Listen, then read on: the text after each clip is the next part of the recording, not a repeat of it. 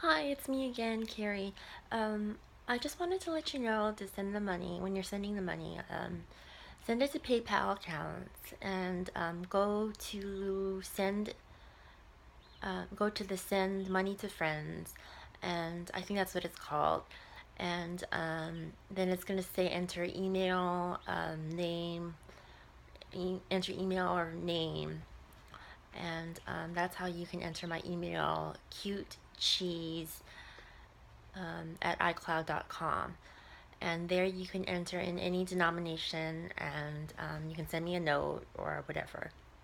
Um, so again, go to PayPal, send and receive. You can toggle over the three lines at, at the corner and um, then um, send send um, money to friends and then you enter in your the email address which is cute cheese as in like cute chihuahuas cute cheese with an s at icloud.com and um, enter in any denomination. One dollar is fine. It's, it's cool.